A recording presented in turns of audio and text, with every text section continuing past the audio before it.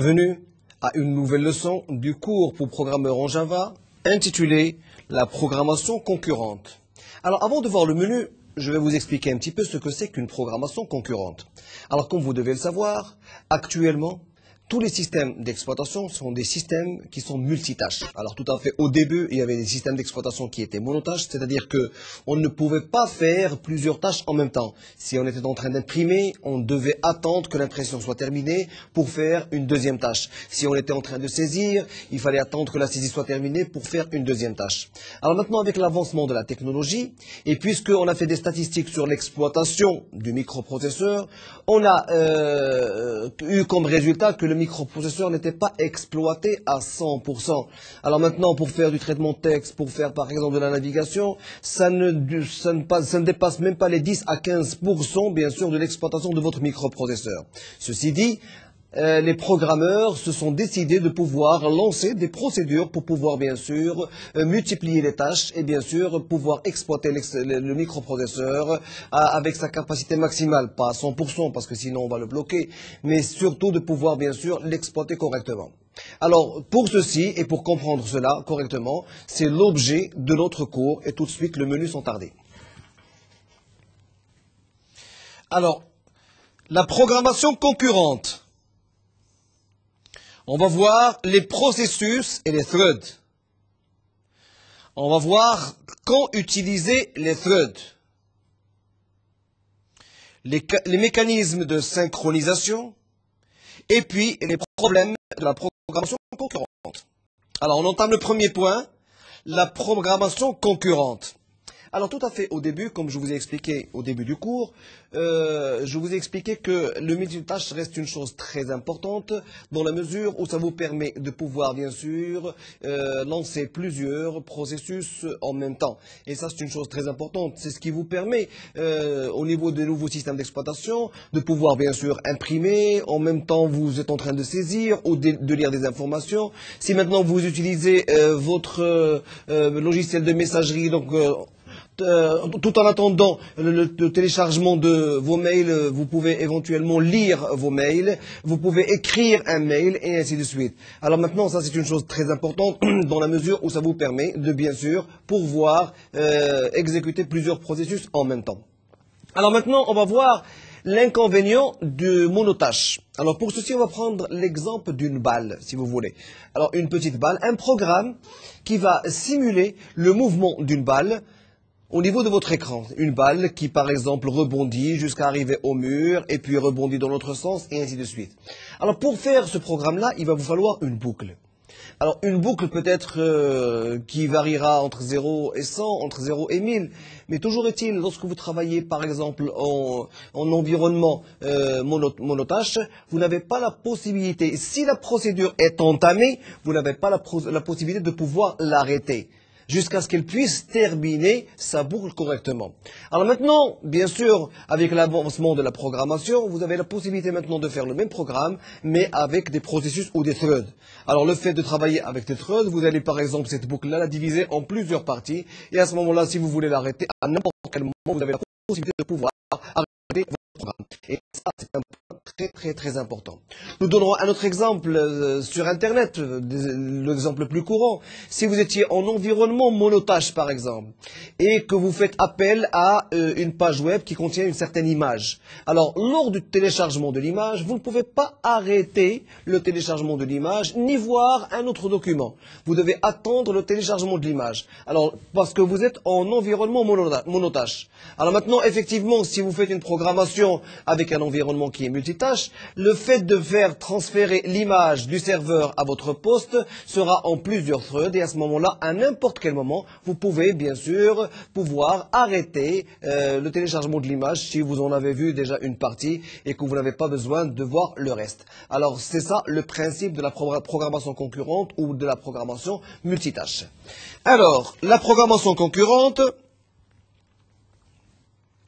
c'est une manière de réaliser des programmes basés sur l'exécution en parallèle de plusieurs flux d'instructions opérant dans le même espace d'adressage. simplifie la réalisation de programmes qui exécutent plusieurs opérations en, même temps. Et ça, bien sûr, c'est euh, le principe du multitâche. Alors, on va voir maintenant les programmes séquentiels. Alors, les programmes séquentiels, donc c'est l'ancienne génération, c'est des programmes qui se basent bien sûr sur des pointeurs avec une pile et automatiquement, lorsque vous avez un ensemble d'instructions, vous opérez, mais là, lorsque vous êtes en séquentiel, vous devez attendre, bien sûr, qu'une procédure soit terminée pour en faire une autre. Vous avez un objet bien précis ici, et ainsi de suite. Alors, ici, vous avez une certaine représentation de la, pile, ce qu'on appelle le stack, avec un pointeur qui se déplace, bien sûr, euh, d'une place à une autre place. Vous avez votre programme, qui reste un ensemble d'instructions, et puis, bien sûr, vous avez votre objet auquel, bien sûr, vous allez appliquer votre programme. Alors, simultanéité d'exécution. Dans les ordinateurs munis d'un seul CPU, il n'est pas possible d'exécuter plusieurs programmes simultanément. Effectivement, euh, au niveau d'un poste qui est muni d'un seul microprocesseur, on a vraiment des difficultés à pouvoir euh, exécuter un seul programme. Mais là, c'est l'ancienne méthode. Maintenant, avec la possibilité de travailler en multiprocessus, en, thread, on peut, avec un seul microprocesseur, donner la possibilité à l'utilisateur de pouvoir euh, faire énormément de choses en même temps. Et tout dépend bien sûr des capacités du microprocesseur. À un certain moment, effectivement, vous vous retrouvez en situation de blocage. Et je pense que maintenant, tout euh, toute, personne qui a déjà utilisé un ordinateur a déjà rencontré ce genre de blocage. C'est-à-dire qu'en ouvrant plusieurs fenêtres, Word, Excel, PowerPoint, Access, euh, la messagerie, la navigation et ainsi de suite, à un certain moment, on se retrouve au niveau d'une situation de blocage. Pourquoi? Parce que bien sûr, vous avez euh, exploité plus qu'il n'en faut au niveau de la capacité du microprocesseur. On peut simuler une exécution parallèle en alternant rapidement l'activité du CPU en programmes différents. Et là, c'est très important parce que ce que j'ai expliqué au niveau de la slide précédente, c'est que on ne peut pas avoir deux programmes qui marchent lorsqu'on a une machine à un seul processeur, effectivement. Mais maintenant, avec le microprocesseur, si on a une certaine synchronisation, on peut par exemple donner au microprocesseur la possibilité de gérer un programme, et puis avec une certaine synchronisation bien organisée, donner aussi à un deuxième programme la possibilité d'utiliser le microprocesseur, et ainsi de suite. Alors on va voir la simultanéité d'exécution. Alors le fait de travailler avec deux programmes indépendants en utilisant la même ressource, c'est-à-dire le même microprocesseur. Alors là, il faut une bonne programmation et on va le voir un petit peu plus loin au niveau de la synchronisation. Lorsque vous avez une programmation euh, en multithread, par exemple, à plusieurs processus, il va falloir bien sûr savoir gérer la synchronisation. La synchronisation est une chose très importante. Pourquoi? Parce que vous allez pouvoir exploiter votre microprocesseur correctement. Parce qu'à un certain moment, si deux programmes en même temps demandent des ressources microprocesseurs alors que ces programmes ne sont pas synchronisés, bah, automatiquement, vous, allez avoir un blocage au niveau d'une des applications, sinon au niveau des deux applications, sinon au niveau du système d'exploitation, et voire même au niveau de toute la machine. Alors, exécution parallèle. Le parallélisme peut se produire entre processus différents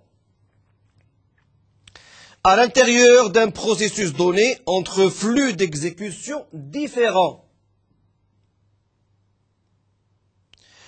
Dans le premier cas, les programmes sont indépendants et ne communiquent que par le système d'exploitation, dans le cas de processus. Alors que dans le second cas, ils coopèrent entre eux pour atteindre un objectif commun. Alors maintenant, on passe à la phase suivante, les processus et les threads.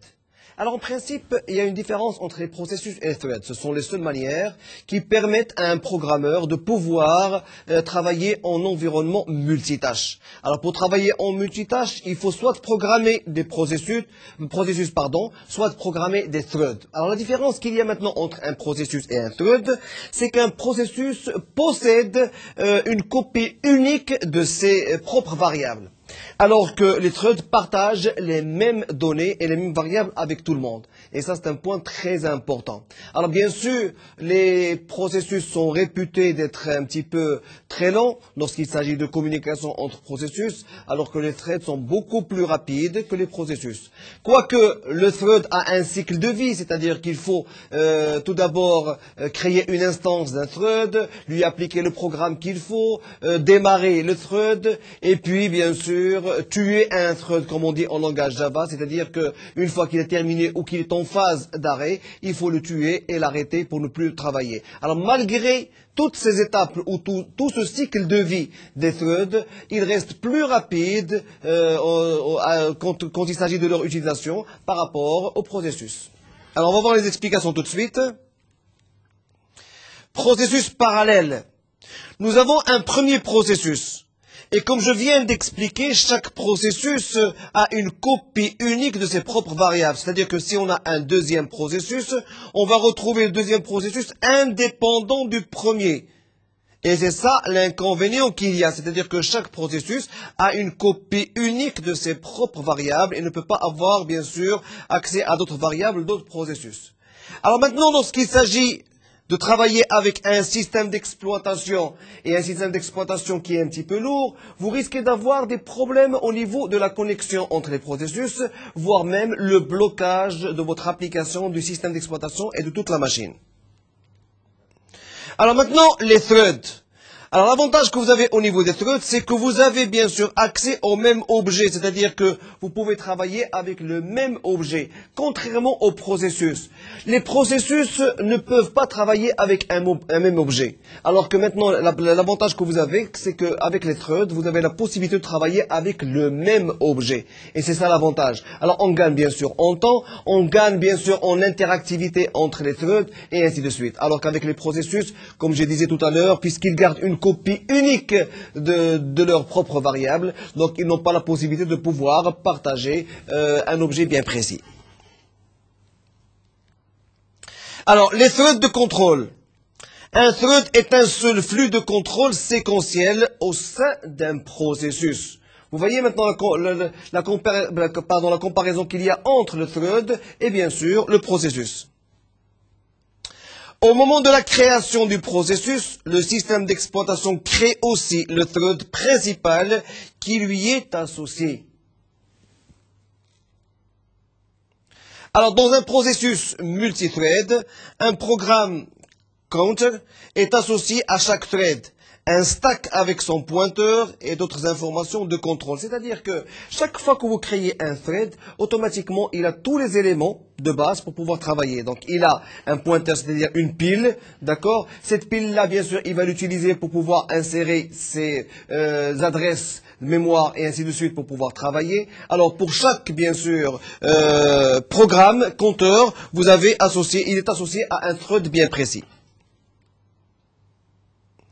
Alors, tous les threads d'un processus donné partagent le code et les données sur lesquelles ils travaillent. Alors, contrairement au processus, puisque les processus, bien sûr, ils ne possèdent qu'une copie unique de leurs variables, alors contrairement maintenant aux threads, les threads d'un processus donné partagent le code et les données sur lesquelles ils travaillent. Alors, un exemple, vous allez le voir au niveau du chapitre 6, activité parallèle.java. Alors, on passe au point suivant, quand il faut utiliser les threads. Alors, comme je vous ai expliqué tout à fait au début de la leçon, lorsqu'il s'agit de préparer des programmes multitâches, vous avez la possibilité, bien sûr, de pouvoir travailler avec plusieurs programmes en même temps. Mais pour le faire, il faut absolument travailler avec une, programmation assez spécifique pour pouvoir donner la possibilité à plusieurs processus de démarrer en même temps. Alors, le thread ou le multithreading reste un point fort de Java et qui donne la possibilité, bien sûr, de pouvoir, euh, si vous voulez, lancer plusieurs programmes en même temps, sinon, voire même utiliser le même programme, mais avec plusieurs fonctionnalités différentes. Alors, premièrement, pour augmenter les performances, si le programme est vorace de CPU, et ça c'est très important, C'est-à-dire que pour augmenter les performances, si bien sûr le programme il consomme euh, de la quantité, il consomme bien sûr les ressources du microprocesseur, mais il faut absolument diviser toutes les tâches en tâches euh, multithreading. Pourquoi?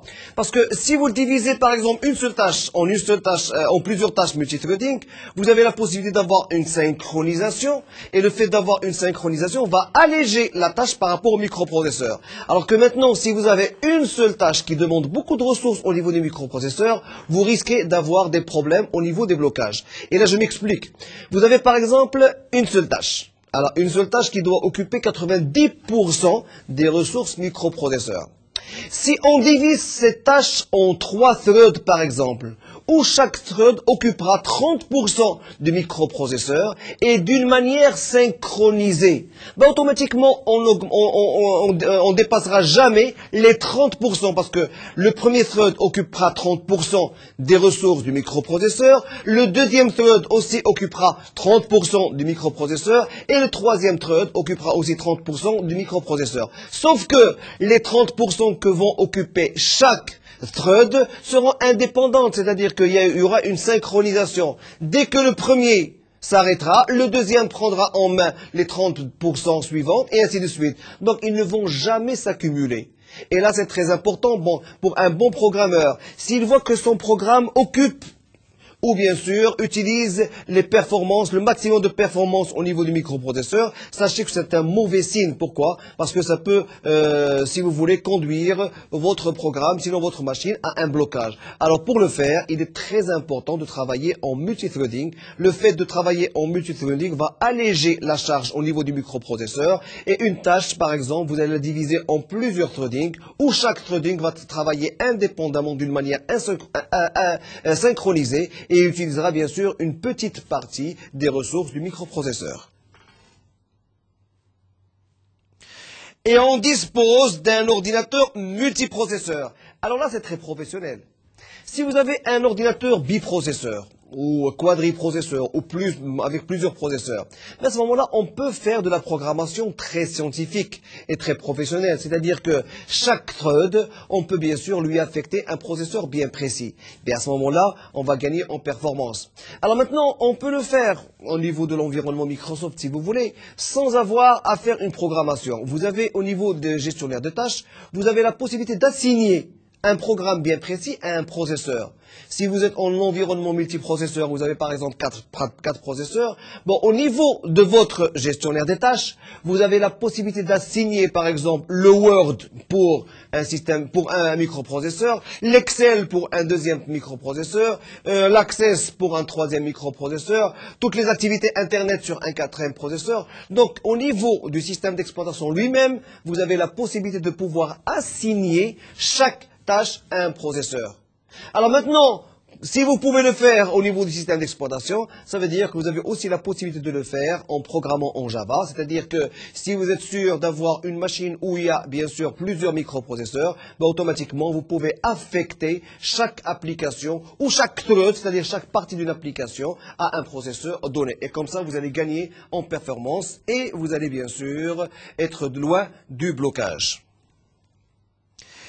Et la Java Virtual Machine est en mesure d'exploiter plusieurs processeurs. Alors, si vous disposez de plusieurs processeurs et que la machine virtuelle a la possibilité de gérer plusieurs processeurs, ça va être extraordinaire. Vous allez avoir un programme qui est très rapide et qui va gérer énormément de programmes en même temps. Alors ceci, bien sûr, euh, généralement au niveau des grandes entreprises, surtout au niveau des banques, ils ont besoin d'avoir des serveurs multiprocesseurs et bien sûr une programmation avec multithreading pour bien sûr avoir euh, le maximum de gains au niveau euh, du temps et bien sûr pour pouvoir euh, éviter le fait qu'une machine euh, ne soit bloquée ou qu'une application ne soit bloquée. Alors pour éviter que le programme se bloque en attente d'opérations naturellement lentes, alors effectivement, on va le voir au niveau euh, des leçons prochaines, c'est qu'il y a la possibilité bien sûr entre euh, la possibilité de pouvoir dialoguer entre les threads, c'est-à-dire qu'un thread par exemple a accès à un objet bien précis, mais il a besoin de résultats d'un autre thread pour pouvoir continuer bien sûr euh, sa, sa, programmation ou l'exécution de, de son code. Alors maintenant, le fait d'attendre ce code-là, ou le résultat du deuxième thread, fait attendre euh, la, machine. Alors, elle devient un petit peu plus lente. Alors maintenant, pour le faire, il faut absolument avoir encore du multithreading pour pouvoir gagner en temps.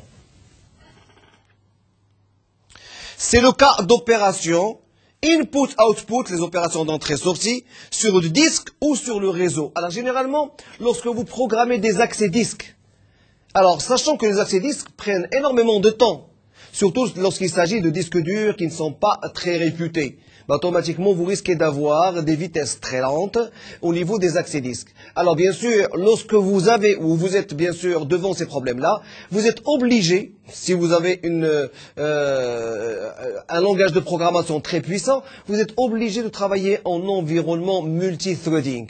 Alors lorsque vous travaillez en environnement multithreading, bah, effectivement, vous risquez, si jamais la machine était amenée à être euh, bloquée avec le multithreading, vous ne bloquez que le thread en action. Et ça, c'est une chose très importante. La disponibilité des ressources partagées facilite la communication. Effectivement, le fait d'avoir des ressources partagées, ça facilite la communication, du fait que ça devient plus rapide au niveau de la communication. Alors, pour recevoir des, des événements asynchrones du système d'exploitation, alors, effectivement, on a besoin d'utiliser le multithreading si vous avez des éléments que vous devez recevoir du système d'exploitation d'une manière asynchrone, qui ne sont pas synchronisés. Alors, le fait de recevoir des éléments qui ne sont pas synchronisés peut pousser éventuellement votre système d'exploitation à une situation de blocage. Alors pour éviter cette situation de blocage, vous êtes obligé de travailler en environnement multithreading et Java vous offre la possibilité de faire ça. Lorsque vous travaillez en environnement multithreading, vous ne bloquez que le thread en question et non pas toute l'application et non pas toute la machine. Et ça c'est très important aussi. C'est le cas des interfaces graphiques ou d'autres activités système.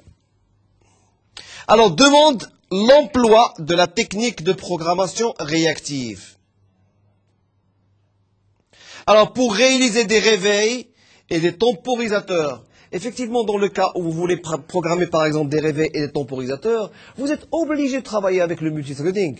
Sinon, votre programme sera amené à être bloqué à tout moment.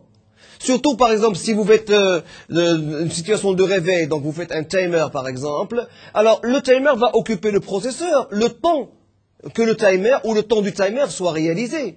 Donc vous, avez, vous allez bloquer, bien sûr, le microprocesseur. Alors maintenant, si vous travaillez en environnement multithreading, bah, à ce moment-là, vous allez spécifier un thread bien précis au timer.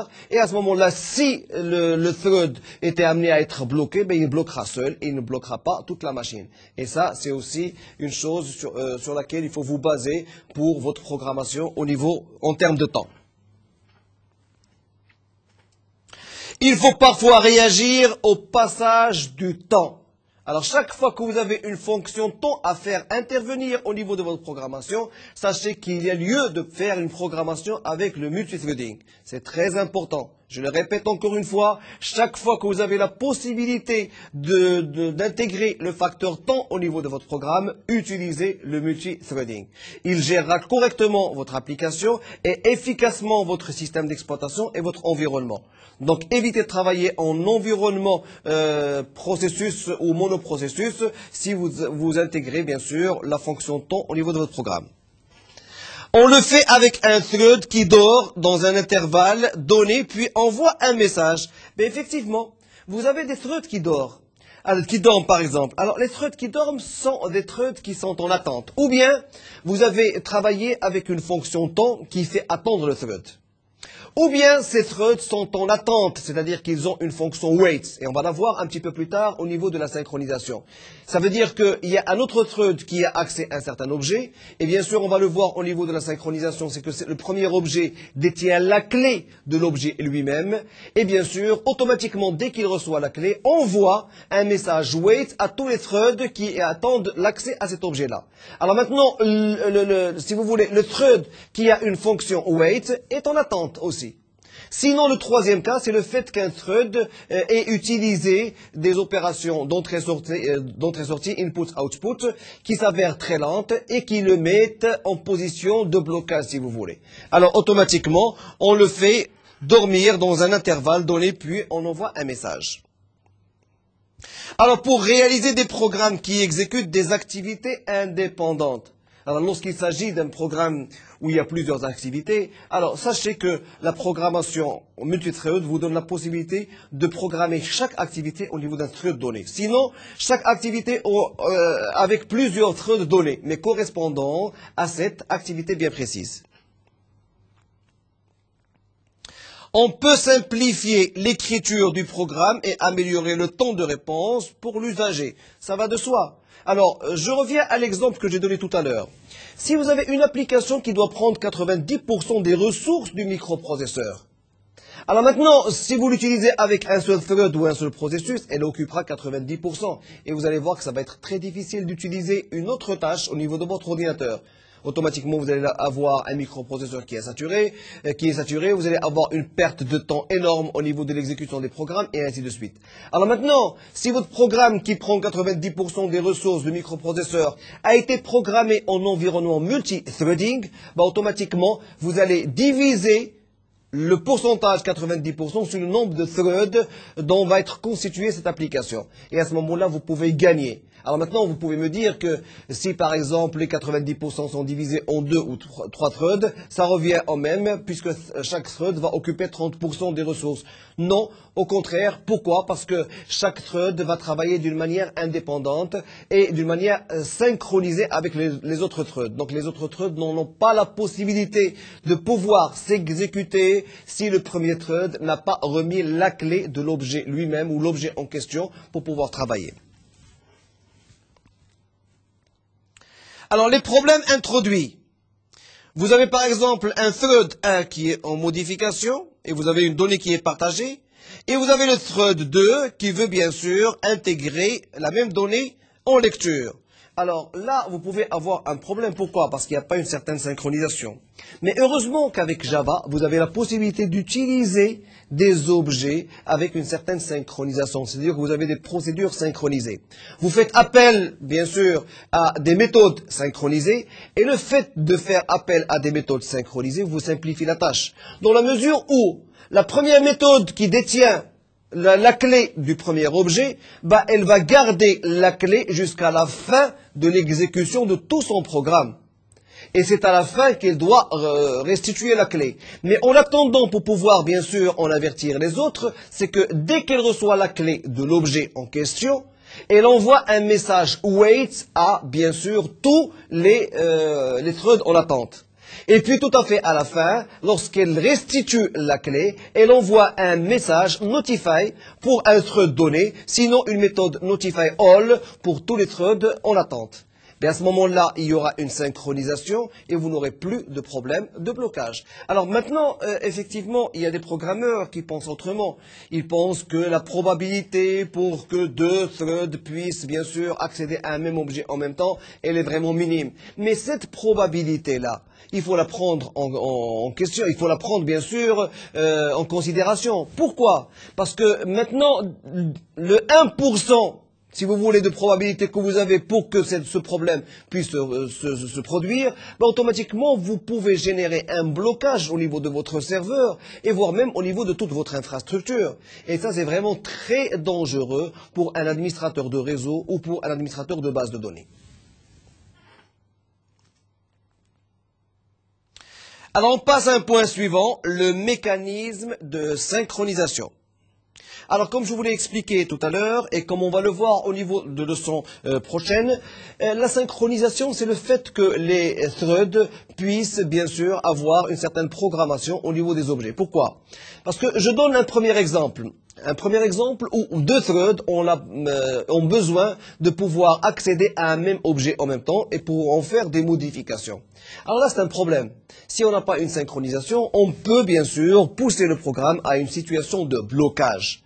Alors pour pouvoir éviter à ces euh, de pouvoir arriver à une situation de blocage, il y a lieu d'utiliser la synchronisation.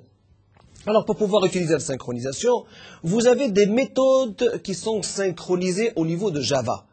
Ces méthodes synchronisées poussent bien sûr les threads à pouvoir récupérer une clé d'objet, une clé qui reste unique pour chaque objet.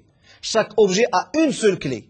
Alors, dès que dès qu'un thread possède la clé, ça veut dire qu'aucun thread n'a la possibilité d'accéder à cet objet-là. Et là, vous avez bien sûr le fait de travailler en, synchronisation, une certaine sécurité au niveau des blocages. Alors, bien sûr, encore une fois, je le redis, l'objet en question ne, dispose que d'une seule clé. Le thread qui détient la possession de cette clé-là envoie des messages, un message wait pour tous les autres euh, threads en, en attente, et puis un message message notify pour un thread donné ou notify all pour tous les threads pour les avertir qu'il a terminé avec euh, l'objet et qu'il a restitué la clé.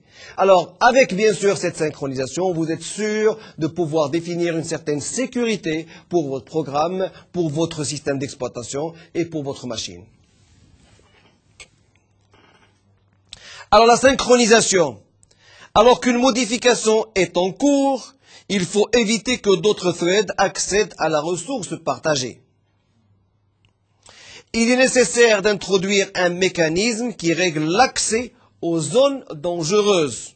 Et le mécanisme, c'est ce que je viens d'expliquer, c'est le fait d'utiliser des méthodes synchronisées. Et les méthodes synchronisées, leur base, c'est de pouvoir détenir une clé d'un objet donné pour pouvoir la restituer tout à fait à la fin pour que les autres threads ne puissent pas accéder au même objet en même temps. Alors maintenant, effectivement, euh, vous allez vous dire que nous allons perdre énormément de temps. Non, bien au contraire, c'est une, euh, une question de quelques millièmes de seconde entre la possibilité qu'un thread puisse détenir la possession d'un objet et de pouvoir restituer la clé pour un autre objet. Mais toujours est-il, avec, on préfère avoir euh, recours à ces millièmes de seconde plutôt que d'avoir des blocages au niveau de la machine. Alors les feux tricolores, il n'est pas possible de réaliser un feu directement en Java. Il deviendrait en effet une ressource partagée et il faudrait un feu dans ce cas. Les sections critiques, vous avez des portions de code qui opèrent sur des données partagées. Lorsque je parle de portions de code, effectivement, il y a des portions de code qui sont affectées à des threads. Alors, effectivement, c'est des threads qui ont accès à des objets qui sont partagés. Alors qu'un thread exécute une section critique, aucun autre thread ne devrait pouvoir agir sur des données partagées.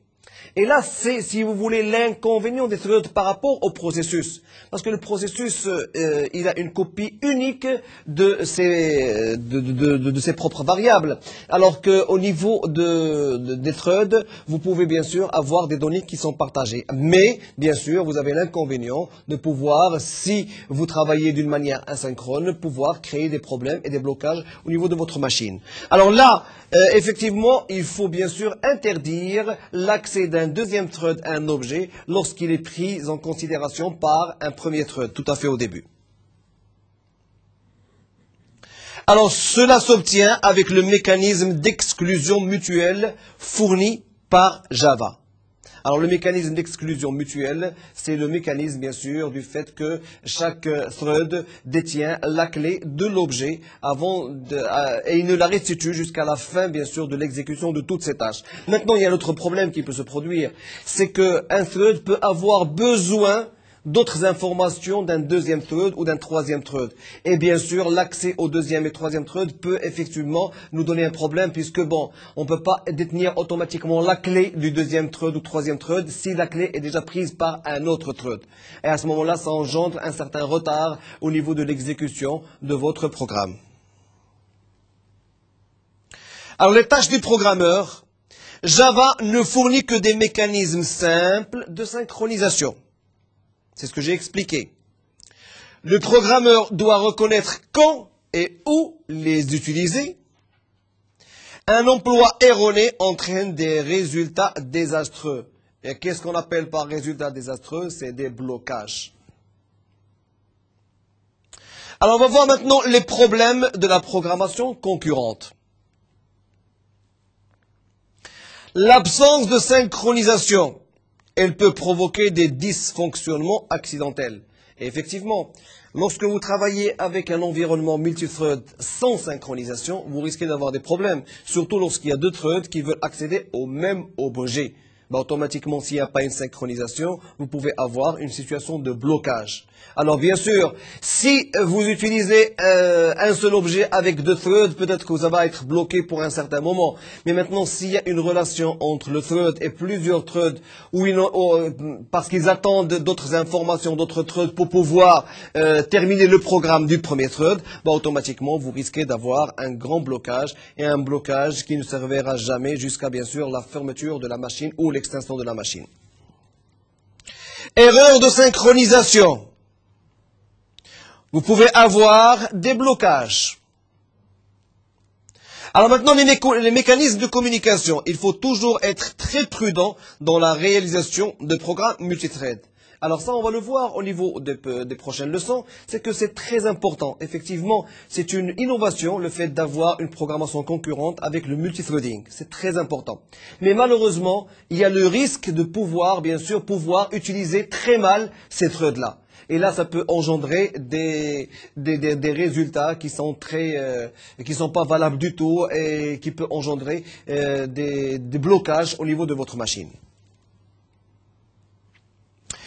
Alors maintenant, si vous avez besoin d'informations complémentaires, vous pouvez toujours vous connecter au site de Netuno en cliquant sur le lien Mednetio.